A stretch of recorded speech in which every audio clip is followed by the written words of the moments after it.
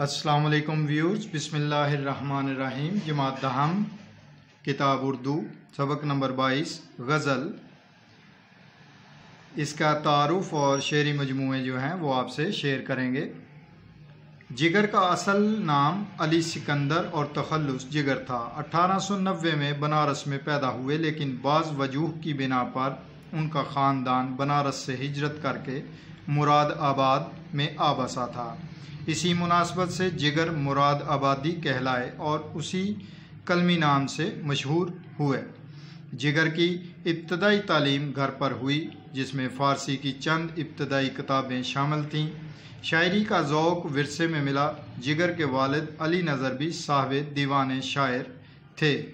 जिगर अपनी इब्तदाद तबा के लिहाज से नेक दरवेश, मंश और सलीमतबा इंसान थे। उन्होंने हज भी किया और मदीना मुनवरा में नबी करीम ख़ातमनबीजीन सल्लल्लाहु अलैहि वसल्लम की शान में बहुत सी नेमतें भी कहीं।